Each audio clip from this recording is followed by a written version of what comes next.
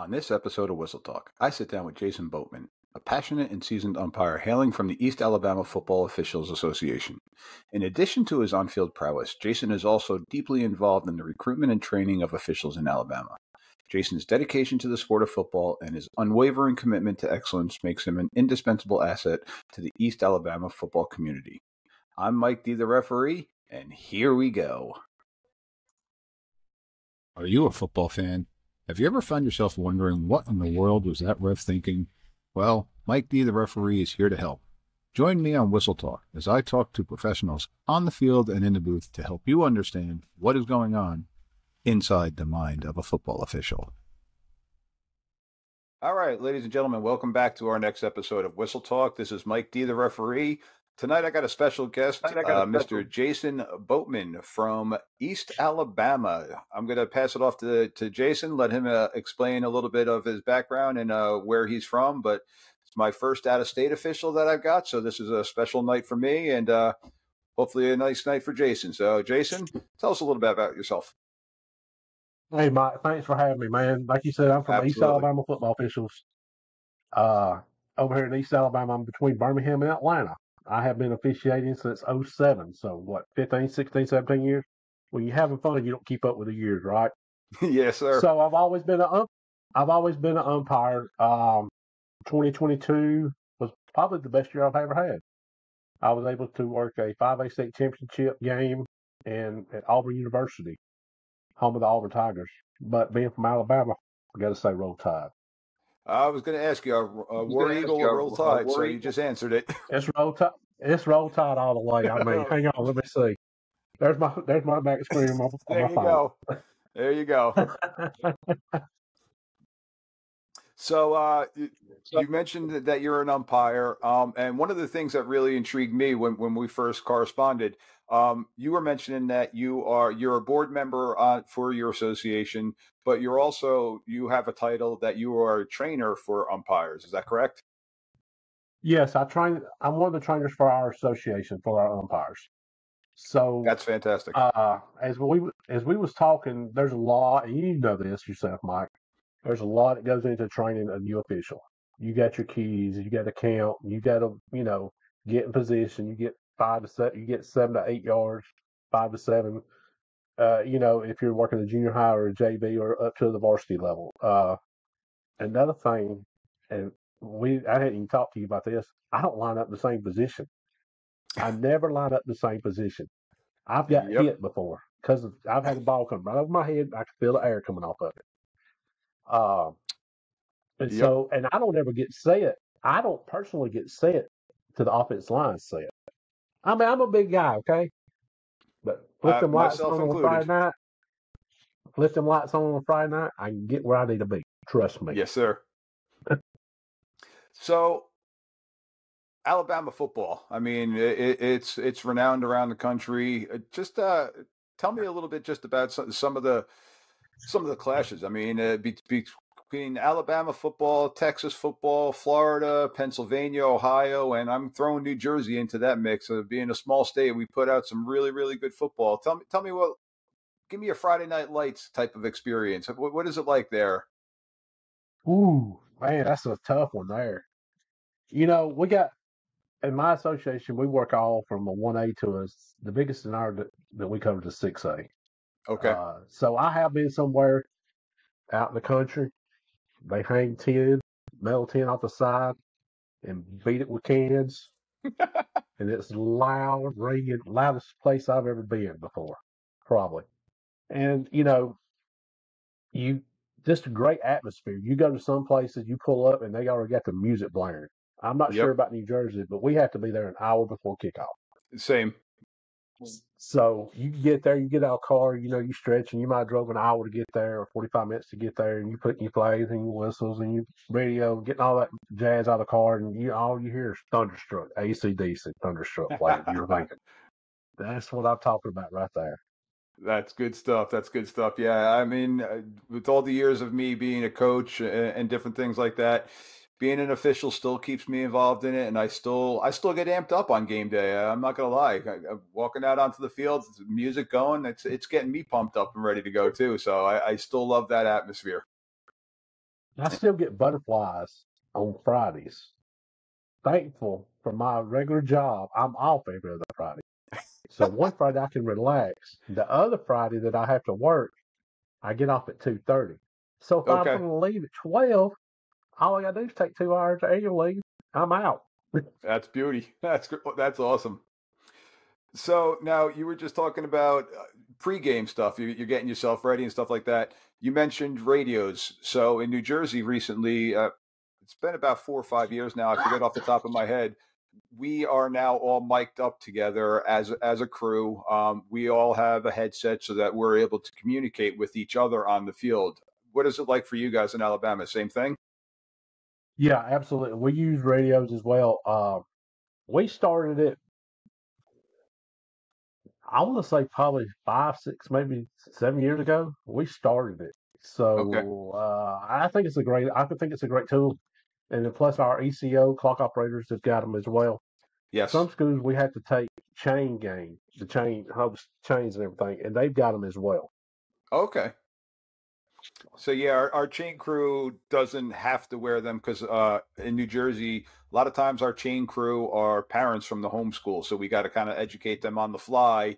Uh, other school districts will pay and have uh, carded officials on the chain crew, but sometimes we'll keep them on. If I'm on the chains, I'll, I'll sometimes keep them on just so I can hear what's going on. Because uh, as you and I were talking uh, before we started rolling here, you, you're always learning something. So if I'm working the chain game, I can possibly still keep my ears in and see what's going on and hear what's going on. Uh, I'm not going to open the mic up at that point in time, though. Absolutely, yeah, we're like that. I mean, well, I can only think of one school right off the top of my head that we had to provide a chain game for on Fridays out of twelve, out of twelve or fifteen contracts we had last year. Okay. So now again, uh, pre pre show, you and I were, were were just chatting a little bit. Here in New Jersey, we're predominantly a, a six man officiating crew. Um, we typically got the umpire and referee in the middle of the field. Then we have our two short wings at the line of scrimmage, and then we'll have our two deep wings between 20 to 22 yards deep, but they're on the sideline. Um, when we get into our st- uh, state semifinals and our championship games, the state will assign us a seventh man so that we have the center of the field covered. Um, pre-production, you guys, you were talking about. You guys are typically either a five-man or a seven-man crew. Is that correct? Yes, that's correct. We are a pretty five man or seven man. The state gives the choice, gives the their choice up until the second round of the playoffs. Second round of the playoffs, and then to the finals, it has to be a seven man. But the regular season, the school gets their choice if they want a five man or a seven man. Okay. Do you have a preference? Do you prefer anyone better than the other?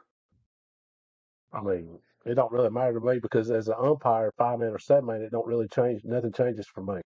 Yeah, our keys really don't change too much either for for us uh, from the seven man. Uh, the only thing that I did find when working the state championship game, having that seventh man, having the extra set of eyes behind me, it kind of kind of felt almost like a security blanket. Uh, if I wasn't going to get run over by a safety or something like that, it's uh, being in the middle of the action. You and I both have uh, been been struck a couple times here and there. I'm sure. Oh yeah, I've been rolled up, stomped, trampled, one played one time, and I should have come out, but hard headed mule like me, I didn't want to come out. I just stayed in there. Yeah, I, I, I think that's the nature of the beast of being an umpire. As so I now, as I said earlier, we we control the chaos in the middle, so you got to be there.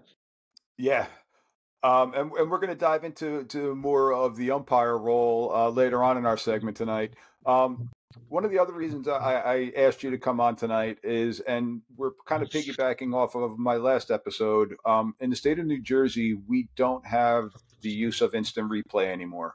Um, and the reason why I, I was talking about that last week is we've had a couple of hot topic issues going on in the state of New Jersey in the high school sports world. Um, and most recent, we had a basketball game that there was a a, a call that got overturned. That replay could have helped out in that scenario.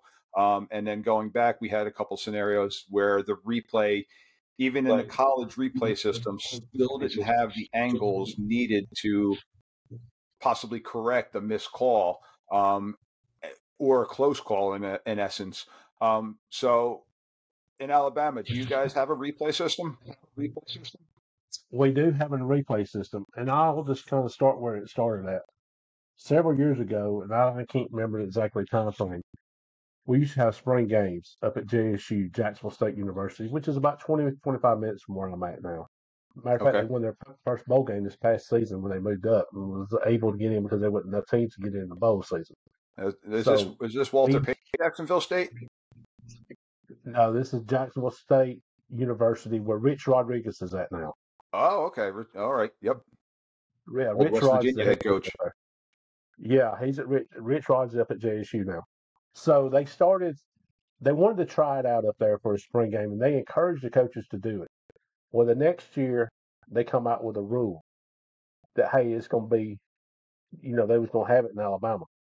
Well, when they come out with it, of course, you had to sign up for it, and there was a substantial amount. Of, there was a, a fee that go along with it, and I Mm-hmm. don't know what that fee was because, as official, it don't really matter Yeah. to me It's out of our hands. you know, it's out of our hands. And so there was several schools that had it. And then I guess the first time I ever I was on a game and you would see it, you know, you walk around the field doing your you know, your uh pregame walk of the field, you would see it and then of course the referee would go over there and, and it looked like a joystick. Basically what kids play video games with, what it looked like. And you had a little booth and you know, set up off the sideline away, you know, away from everybody and it had a security there. So if you had to go over there, you could be over there and nobody would mess with you. Um, and so over the years, I guess some teams got away from it. And so Okay. now the only time Alabama uses it now, if like I, we were talking earlier, I don't know of any teams that currently have the replay in Alabama.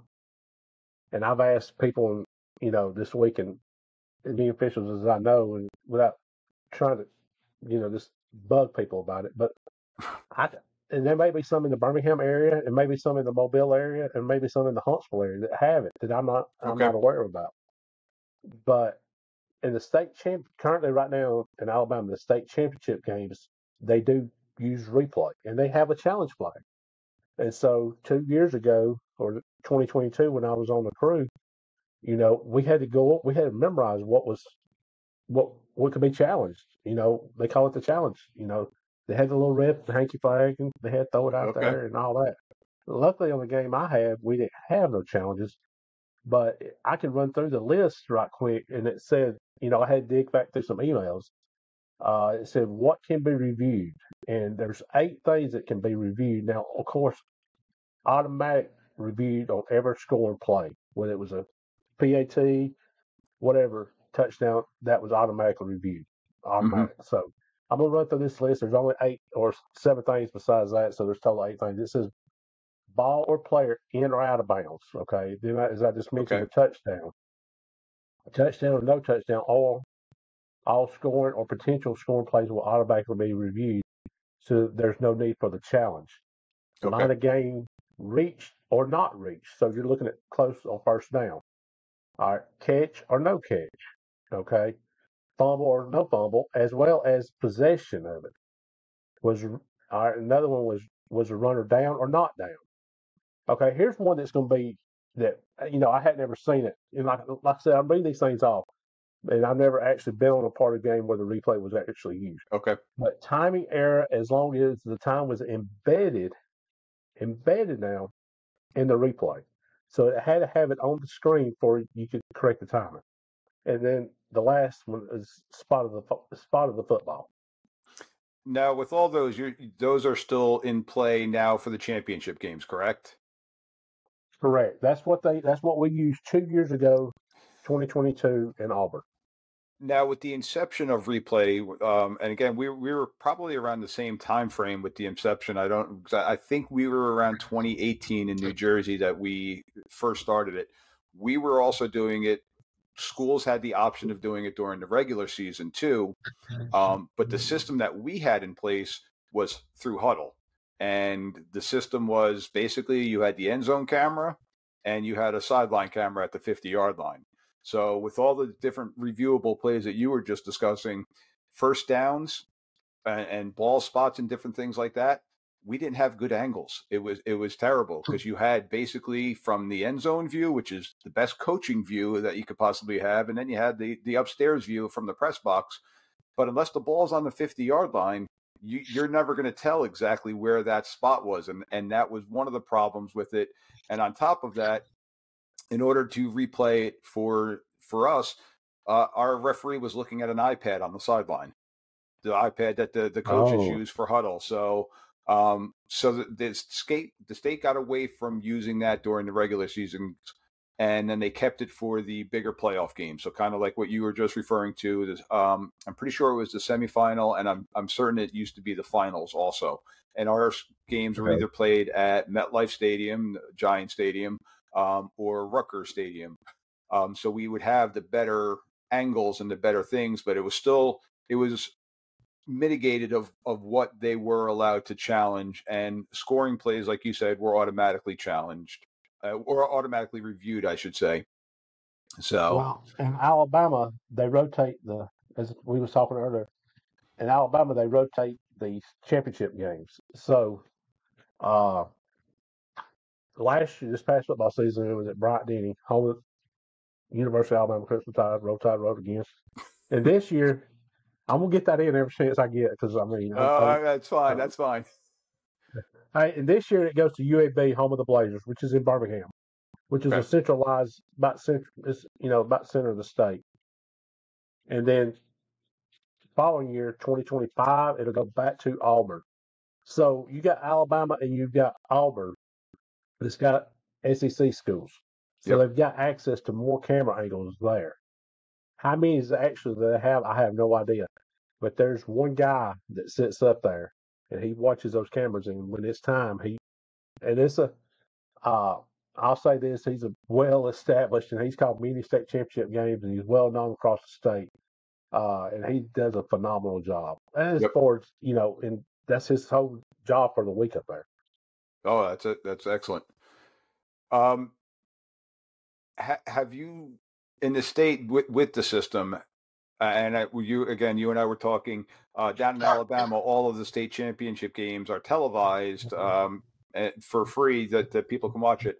So maybe not visually or, or personally being at the game but have you ever seen something where you're like oh wow and the, the replay? Because I mean, I watch games on Saturday. I watch games on Sunday in the in the college and the NFL games, and there's times where review doesn't change the call or doesn't help out in a scenario that, as we're watching from a TV angle, a TV angle could possibly pick up, but the replay angle doesn't have the right angle for it. So, have you seen anything like that that possibly could talk about? Nothing that I can that sticks out now, and I'll say this: a lot of times now we got seven classifications in Alabama. Okay, so they'll start it on Wednesday. They'll do the seven A game very first, and it's like at seven o'clock. A lot of times that's the only one I get to actually watch on TV. Now, a couple years ago, two years ago, they started flag girls flag football in Alabama, Mm-hmm. so they play that. They play that on Wednesday, like like at two or three o'clock, whatever time Okay. and then they back it up with a seven A game. And then usually I go down to where if it's in Tuscaloosa, or if it's in Auburn, Tuscaloosa, Auburn, both two hours from me. Birmingham's forty five minutes to an hour from me. So usually I go down and I'm already there, and I'll Okay. stay. I'll stay. I'll stay and watch them. I, I'm there to watch six games. You know, Oh, and that's excellent. it can. I in, Al, in Alabama, it concludes on Friday night. Is it Friday night? Yeah, because you got Thursday night. And on Thursdays they do three games. It goes uh, in Alabama. It goes three A, one A, five A, and then on Fridays it goes two A, no four A, two A, six A. Okay. So they put the smallest classification in the middle. So you got four A, then you get the two A, and then you get the biggest class for that. What's left is six A. Okay. I was gonna, just going to ask that. Seven A would be your biggest biggest schools, population wise, student body wise. Yeah, seven A is you gonna have your like your Hoover. Everybody's heard of Hoover and two a days and all that stuff off of MTV. So now I'm showing my age from years ago. But you got Hoover, you got Thompson, and you got oh gosh, uh, mm, I don't even know. You got several schools up around Huntsville. I mean, I don't really. And you got Gadsden City. I think now is the seven A up in Gadsden, which is about thirty minutes from me. Okay. So you got you know their class is growing tremendously. Now, do you feel? And and again, this is this is purely just opinion based. are there? Do you feel like there's any negatives to it? Do you think that it's it's a it's a good thing or if it's a bad thing? Um, one one of the debates that we've had in New Jersey with the replay system, um, and I, I do understand the mindset of it is sometimes the officials are going in with a different mindset that they're going to make a call to the point that okay that will be replayed instead of making the call how they initially see it and that's how I've always been trained. If you see it throw it. If you don't see it or it's not or there's nothing there keep it keep the flag deep in the pocket do you feel like anything like that could possibly be out there well here's my here's my thing on the on the replay okay we're all human we're going to make mistakes on the field we've got yep. split seconds to make a decision keep the flag in the pocket or leave it or throw it. Okay. Here's my thing on the replay. If the replay overturns a call and it's correct, great job. I'm all for it. Because at the end of the day, you as a coach, okay, I've never coached, okay. I played years ago, you know, when I was in high school. Excuse me, this Holland in Alabama is whooping my tail right now. But here's the thing at the end of the day the whole reason, as me you talked about earlier, whole reason 90% of us or 95% of us, I don't know what the stat says, okay? The reason that me and you are talking now is to educate folks on officiating. And it's at the end of the day, it's about these kids. Yes. So they can have an even playing field to go out and play the sport and build that brotherhood and build lifelong lessons, okay? Yep. If a replay gets the play correctly, I'm all for it. The, and again, I don't have a opinion. You know what you was asking. I'm all about these kids. That's that, you know, that's perfect. That it's not about these kids. It's time for me to hang it up, get out of the way, and let somebody else come in. Because I don't go out there, and I've said this before. I say this in our thing. I don't go out there to be seen on Friday night, see how many flags I can throw or any of that. I mean, you know, how many times I can get run over. Hey, I'm gonna be played a little shallow this time. Let me see, maybe I can get run over and get me some TV time or whatever that means. I don't care about that. Nope. I'm gonna do the same every play. I'm gonna say the same thing every play, and we'll dive off into this when we talk about umpire stuff. But it, the whole at the end of the day, it's about these kids. Yes, and sir. The day you quit Absolutely. caring about these kids, stay home. Yep, and that, that's where uh, the, it's the, not about the pay helps a little bit. I mean, the pay the pay is not a nice bonus, but it's not about that. Uh, I mean, heck, if you get paid it's, per hour, yeah, absolutely, absolutely, it's about these kids. So, Jason, uh, on that note, we're going to take a, a, quick pause, um, and then when we come back, we're going to go. We're going to dive into our flagged facts, our little quiz game here. Um, so give Jason a, a second to uh, go grab his uh, writing book and his rule book so he can catch up on some rules. I'm going to try to trick him here with a couple of uh, a couple of questions. So we'll take a quick pause, and when we come back, we'll we'll jump right into our, our flagged facts of the day. Hey, Whistle Talk fans, are you enjoying what you're listening to? Be sure to hit the like button so that you can join us every week as we break down the nuances of officiating that often go unnoticed. We want to hear from you, the passionate fans who make our game so special. Like what you hear? Hit the like button and let us know. Have a burning question or a hot take? Drop us a comment below to join the conversation. All right, so ladies and gentlemen, we're back here again with uh, Jason uh, talking uh, Alabama football. And as we come back here, we're going to jump right into our flagged facts, our whistle talk rule quiz. Jason, are you ready? Let's go. Let's see. I've mean, ain't touched nothing since December. So all right. I don't know. Let's let's get it. Let's see if I see if I pass this test.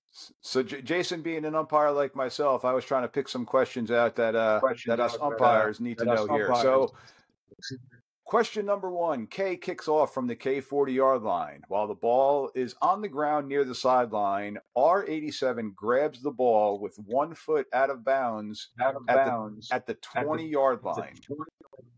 What's your ruling here? Ah, uh, what's my choices? Well, in this scenario, you're going to have four choices because the ball being yes, out of are. bounds, the ball goes out of bounds, even with one foot inbounds and one foot out of bounds. This is a kick out of bounds. So your four mm-hmm. options now are right. going to be A can re kick from the 35 yard line. So they'll go back five yards to re kick it. A could take the ball first and 10 from the 25 yard line. So they'll get a, basically a five yard penalty tacked on to where the ball went out of bounds. I'm gonna I'm gonna give Jason a little bit hint here. I'm gonna skip over C and we're gonna go to D. A could take the result of the play, which is the ball being kicked out of bounds. So we can scratch that one out right away. And C is yeah. A first and 10 from the 35 yard line, which would be 25 yards from where the ball was kicked off from. So, Jason, what, what would you pick here? You won't pick C on this scenario because that's going to be the correct answer. That is the correct answer. The, the, the, second most common answer that we do have is some teams will elect to have the teams try to re kick. Um, I, have had games where they've made the teams re kick the ball off three times if the kicker kept on kicking the ball out of bounds because they would back up five yards and the teams were hoping that they're uh, they had a stud kick returner that they were going to get their hands on the ball. And uh, historically, I've seen that come back to bite them in the butt. Where if they just took it at the 35, they probably would have been better off. But uh, yeah, they're going to probably take the ball at the 35 yard line. All right, so good job on that one. All right, question number two, another another multi part question here. So. A offense has the ball. A first and ten from the A's six yard line, so they're backed up on their own six yard line. Quarterback A eighteen drops back to pass the ball, and he's in his own end zone while going back for the pass, A58 gets called for holding. Now, two scenarios are he gets called for holding at the three yard line, or A58 gets called holding in the end zone. So, Jason, if the ball, if the penalty happened at the three yard line, what would you have? Uh, where are those choices at? Here we go. I'm gonna tell you what I got. There we go, right there. A and then the second part of this question, you got B, so it could actually be both. Yep. So you, are going to have if the if the hold happens in the end zone, it's a safety. A penalty that happens in the end zone, it is a safety.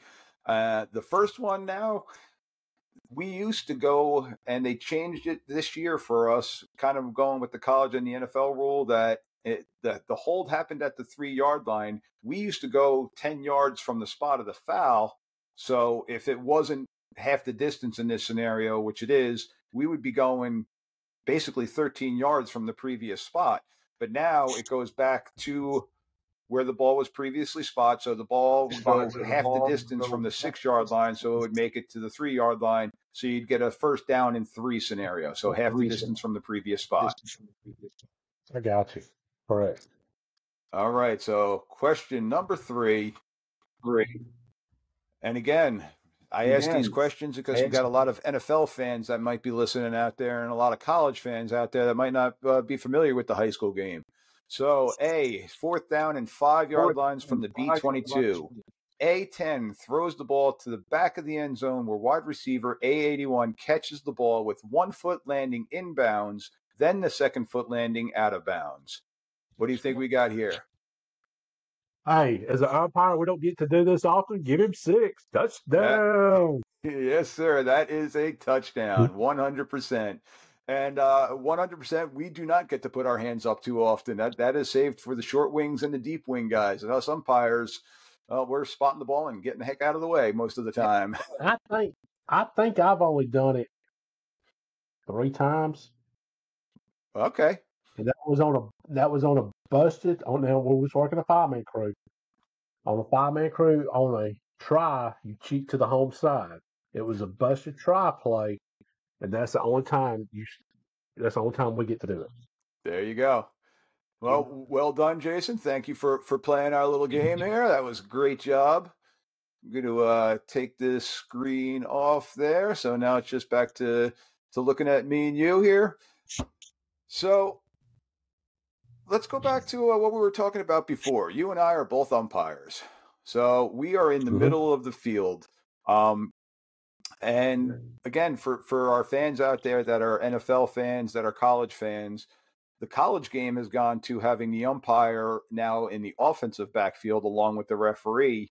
The NFL now also has the umpire in the backfield too with the referee, but then they have the center judge, but still on the defensive side of the ball. So Jason, give me give me an idea. pre-snap. What what are you thinking? What what are you doing pre-snap uh, after you spot the ball? What what's going on? What are you thinking? Well, I'm trying to watch what they're going to do. You know, usually before the game, we get our assignment sometime on Sunday or Monday, and I start watching film. Okay. I start getting on NFHS, Hudl, whatever. You know, sometimes it may be a team that had the local game of the week, and then I can jump on their website and on their YouTube page and go watch some film on them if I don't already know them. But I'm gonna watch film. I'm gonna I'm gonna try to watch their last game, and I'm gonna see what they do a lot. So they're in the huddle, got the ball spotted. I'm getting out of there. As they're coming out of the huddle, I'm counting, count every play. Some people stick stick it. Some people stick stick it out like this right here. Mm-hmm. Alabama, you got your choice. You can stick it out like this right here, or you can do it like that. I'm right here, old school. I'm right here to show okay. the height. That's it. And so, as they come up, I'm watching. I'm watching to see what they line up in. They go down just one hand. I'm watching my keys. Uh, and when they go down and get set, that's when I get set. Okay. I don't line up in the same spot every play. Just to clarify for our listeners, so Jason says he's counting. So it's the responsibility of the umpire and the referee. We're responsible for making sure that the offense has 11 players on the field.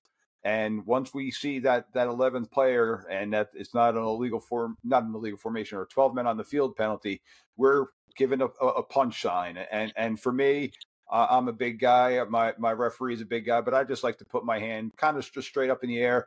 He and I just make a quick eye contact with, so that we're both on the same page. Um, and we're solely responsible for counting the offensive guys at that point in time. For us in the state of New Jersey, our deep wings are responsible for, because of being a six man, our deep wings are responsible for counting the defense. So they're doing the same thing. They're punching to each other, that making sure that they've got 11 guys on the field. And uh, we do have signals, but we're, we're we're not going to stop the play. But if we have ten guys, I kind of we give a little open hand, ten uh, pat on the chest to each other, so we know that we've got ten guys. Because if there's ten guys, they might not have enough guys on the line of scrimmage. So then it tr- triggers our short wings that okay, you may have an illegal formation coming here. So it's just uh, little communication things that we have with the hand signals. So we got 11 guys on the field. We get back to our spot. Tell me about your keys. Tell me what you're looking at now. Still, we're still at pre-snap now.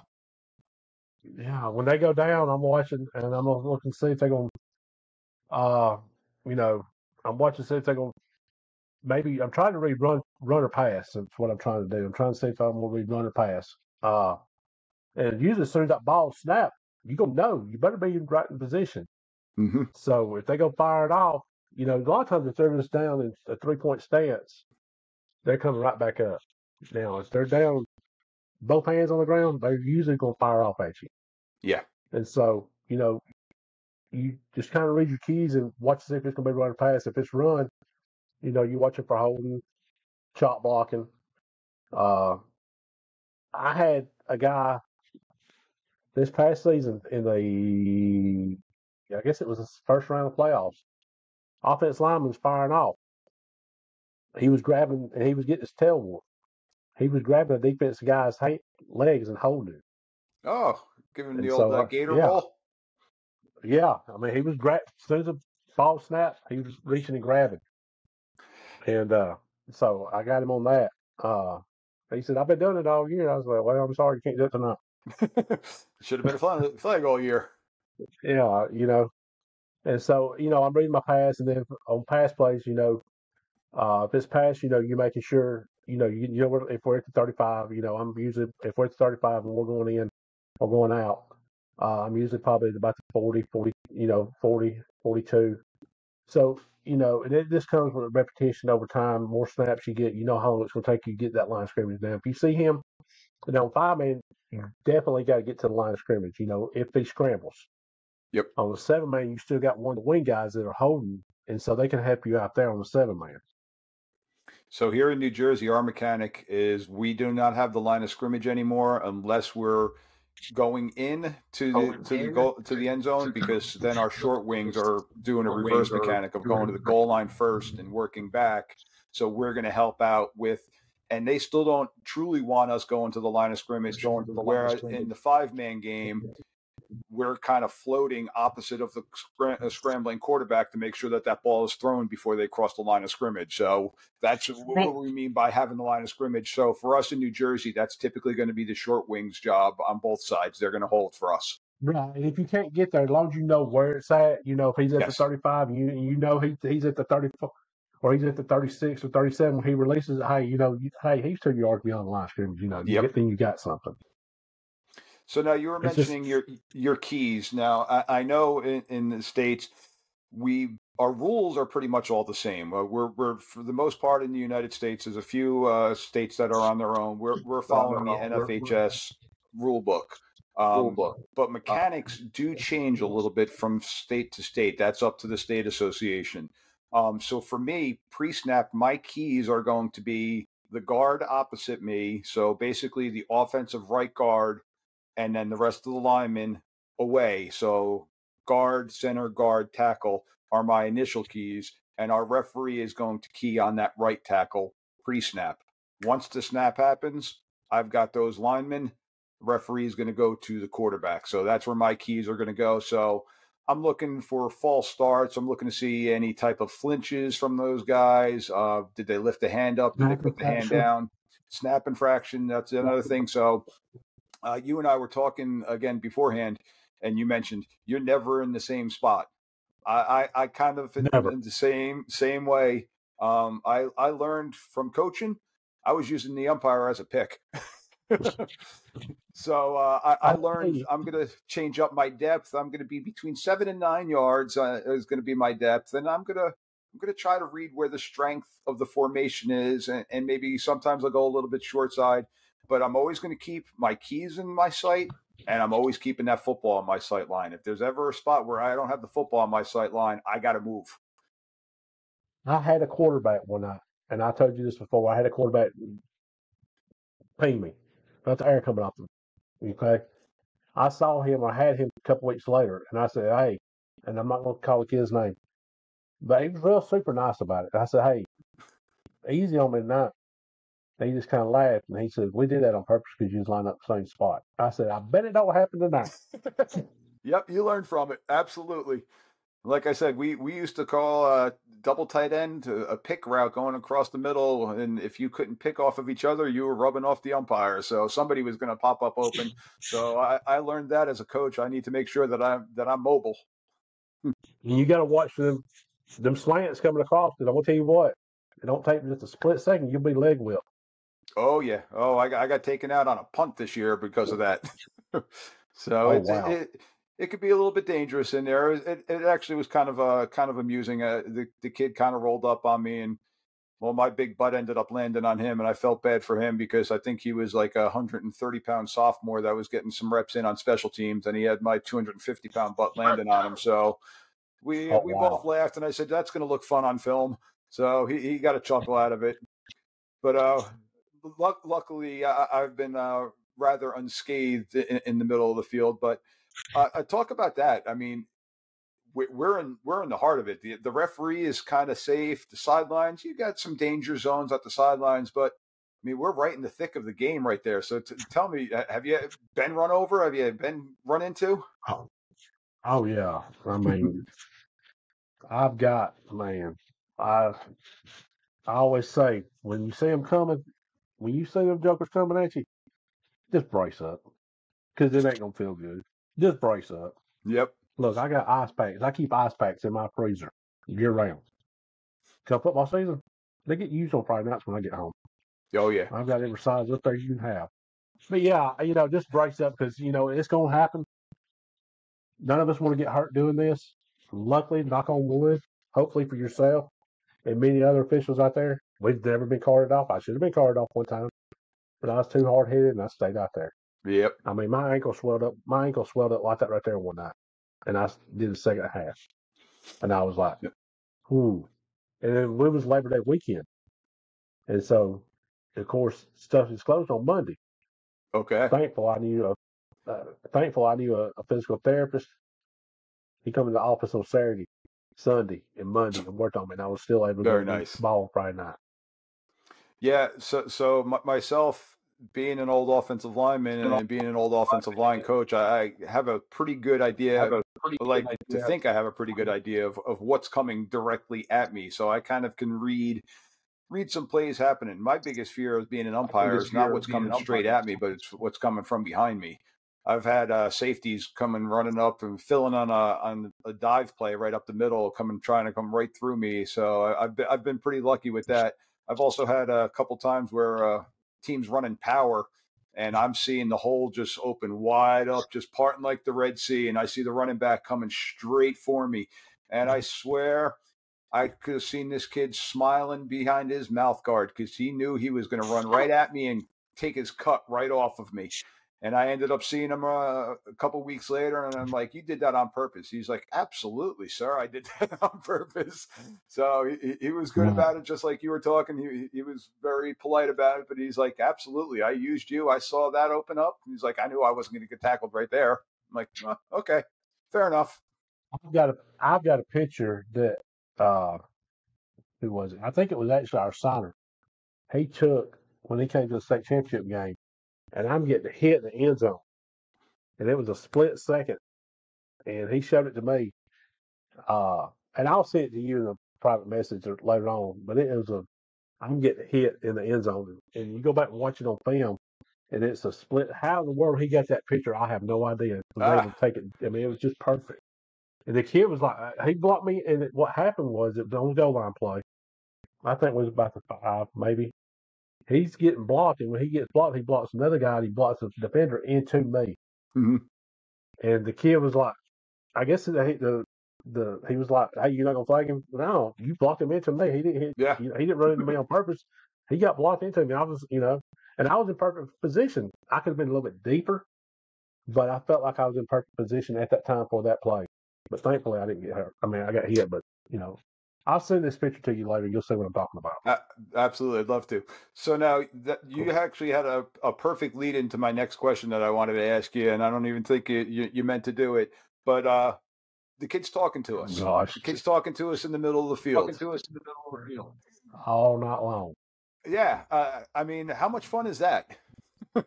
That's fun. Building relationship with these kids a lot of these kids now that you're calling and I'm calling, we started calling them when they was, you know, junior high, maybe even Pee Wee League, and then they've come up. You know, as they got older, they got to the varsity level, and you know, a lot of them know, hey, Jason ain't gonna put up no crap tonight. And uh, you better not. You know, the coaches know too. You was a former yep. coach. You knew which official that you could that would you could get away with something with. Yep. And most of them, and I hate, you know, I don't mind saying this. Most of them, most of, most of all ours know that hey, just ain't touching the mean, you know, he's going, if it's there, he's there. Now, you know, the safety, uh, if the safety, a face mask or something, you know, you got to get that. Yeah. Early in the season, I believe in, and I'm sure you do too. I believe in preventive officiating. Okay, oh, thousand percent. They're gonna have the jitters. talk about. They got they got the kids that got the jitters. His first varsity game. This is middle of August when we start, or toward the end of August. It's 120 degrees. They got them pads on and all that crap out there. Of course, we got heat timeouts and all that stuff here in Alabama. He may hold. Hey, this is a jamboree game. Yep. Hey, 75. I seen you holding right there. Watch them hands. Prevent it. I do a lot of, and I've been told I do too much of preventive officiating. Oh, well. I, I'm I'm in the same mindset. I'm, I'm I, would rather go in and, and, talk with the kids, but as you get later in the season and as the games get bigger and bigger, that warning is going to be okay 75 next time i'm going to bang you keep the hands inside. Or if it's a point right. of the attack type of play we're gonna we're gonna bang that. The safety fouls they're no brainers we're, we're, we're looking for those 100% of the time. But right. coaches you're gonna have coaches that are gonna say he was being held every single play every play he was being held. And i'm like well coach if if they're running a toss sweep to the right and your left defensive end or your right defensive end i should say the opposite side is getting held he's not part of the play at that point in time. I'm not going to call a holding penalty on like that you, one. Like you said, point of attack. Appreciate point of attack, and then once the and I'm sure you do the same thing. Once the ball passes you and it gets in the gets over in what we call the flats, and then your backside of the officiating. Then you're looking yep. for the cheap stuff. Yep, absolutely. absolutely. So th- those uh, you're looking for the point of the attack fouls. You're looking for for the ball. Um, I don't know about you. Come snap, I'm spitting my whistle out of my mouth. My I don't blow my whistle pretty much the entire game unless it's a pre-snap penalty. So we, uh, I, I leave those whistles to, to, to the short wings. I'm gonna tell you what I don't. Years ago, I changed, and I and I'll you know, I'll keep one in my back pocket. Yep. As my backup, I went to the finger whistle. Okay. I love it. I love it, and I probably got in my whistle bag. I probably got, and this I'm not exaggerating. I probably got eight or ten. Wow. I got a backup. Yeah, I mean, we got to think, you know, over the years, as long as we've been doing this stuff, I'm gonna keep a whistle. If it gets cracked, you know what? Oh, I'll throw it away. But well, I got you on the right whistle. show. I got you on the right show. Whistle talk. So exactly right. Exactly right. But yeah, I, I so when I'm in the middle of the field, I, will use the lanyard. I have it buckled to my my zipper on my my shirt. Once the ball is snapped, I'm just popping that out, letting it dangle. I actually do keep a finger whistle on my hand too, uh, just uh, like you said, as a backup, just in case there's something egregious where I need to lay on the whistle, extra pushing and shoving, the extracurricular stuff. But uh, other than that, I, am putting my hand up in the air and, and, showing the showing the side guys, hey, I, I got them down here. But ultimately, they're the ones that are going to have the best angle if the knee was down, forward progress was stopped, and then from there, I'm verbally going in and I'm officiating. All right, guys, let them off, roll off, use the ground, different things like that. Are you the same way? Absolutely. Absolutely. If I'm not hoarse when I walk off that field, the next morning or Saturday morning, I feel like I haven't done my job. Yep. So every play, I am saying, guys, roll off each other, push off, don't push off each other, roll off each other. Good run, good tackle. Good run, good tackle. Hey, and if you see something, you nine times out of ten, chaos is going to start in the middle. As an umpire, if you control that middle, yep. nine times out of ten, you're not going to have no problems in the ball game as far as extracurricular stuff happens. The jawing and stuff like that, big rivalry games. You got to get you got to get that early. Yeah, you got absolutely. to get that early.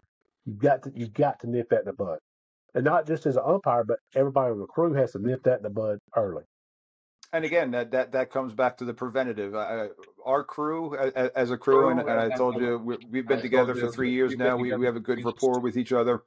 We would rather go a game without having any flags on the field and just manage the game oh, and yeah. talk the kids through the game and, and live ball fouls with our crew are, are are safety fouls and point of the attack fouls. We're not going to look to nitpick on the stuff like that. Your pre-snap fouls, you have to call them. Now, those are the ones that everybody sees, the flinches, the motions, the different things like that. Those ones are are, are the no-brainers. But other than that, I want I want to verbally officiate the game.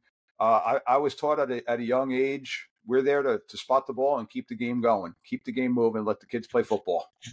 So that's what we try that's to do. Go back to what I was saying earlier. What is the whole reason we're in this about these kids. For the kids, absolutely. So, Jason, I got just one last uh, question, one last little topic I want to touch on. I've, I've kept you on here long enough, um, but you had mentioned before about training and developing, and that, that you work with the umpires.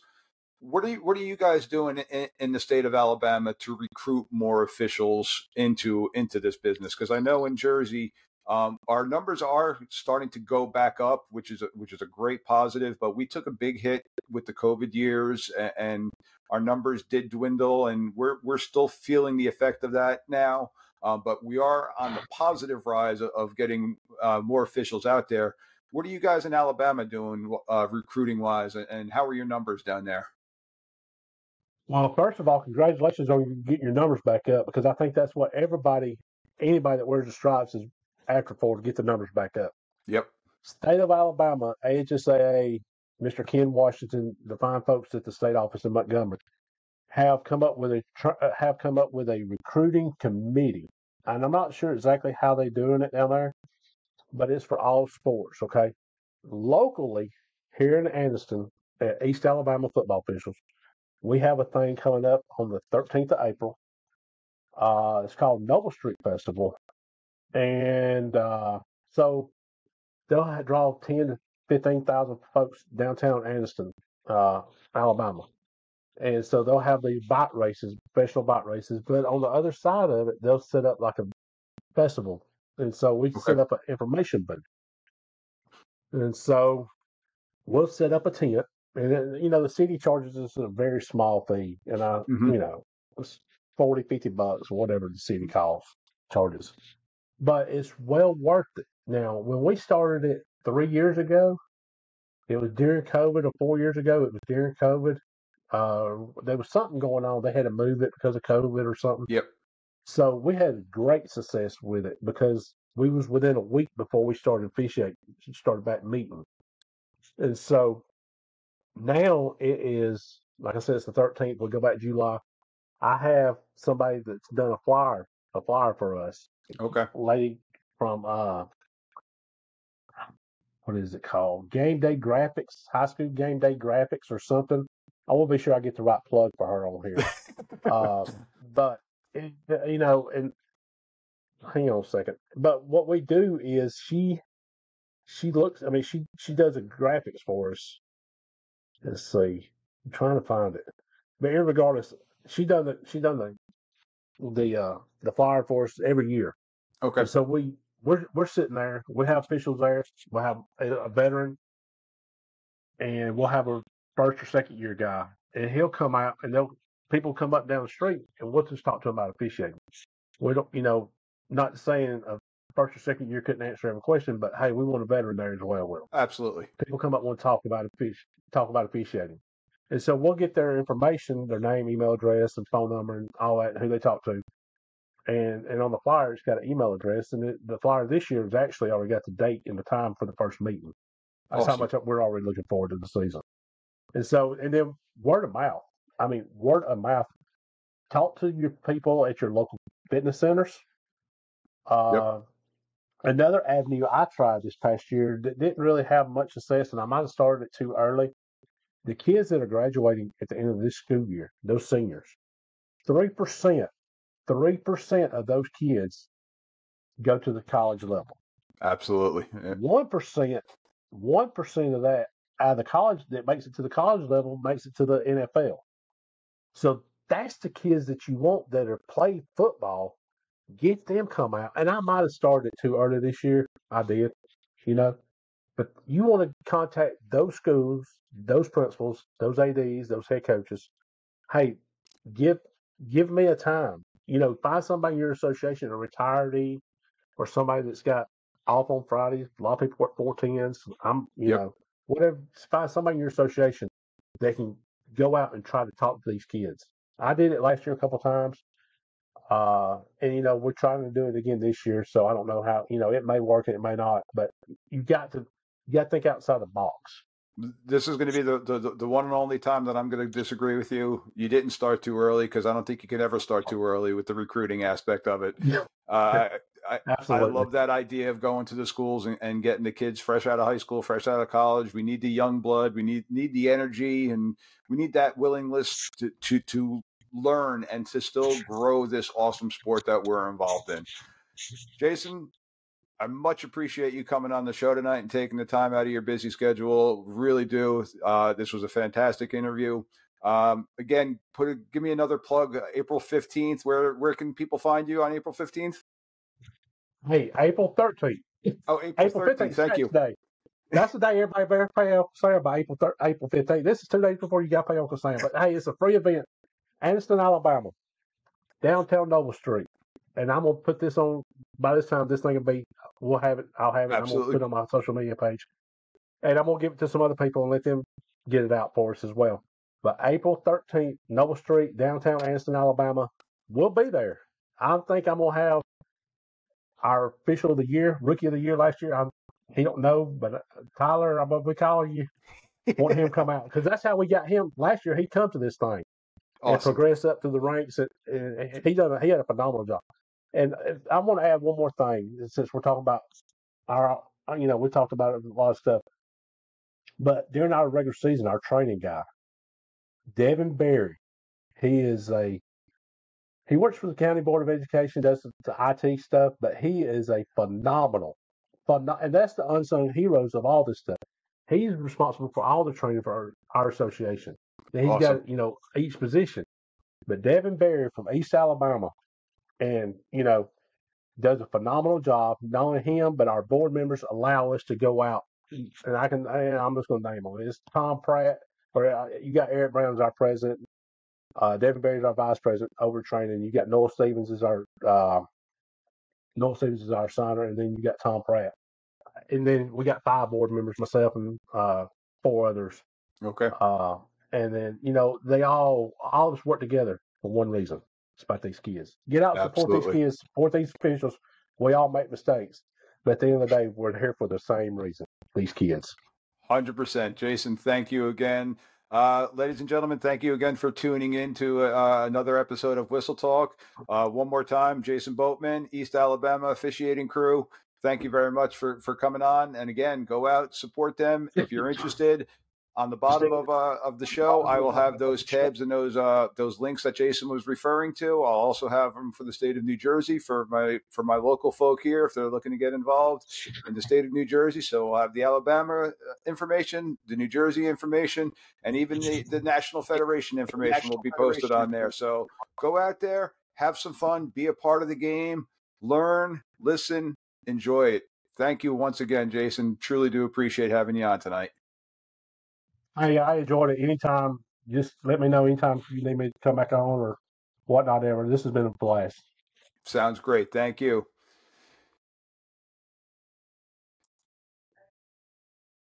Thank you for tuning in to another episode of Whistle Talk, where we unravel the fascinating world of football officiating.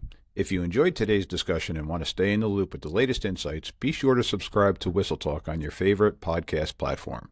Stay connected with us by following Whistle Talk on social media, where we share behind the scenes glimpses, updates, and engage with our incredible community of officiating enthusiasts.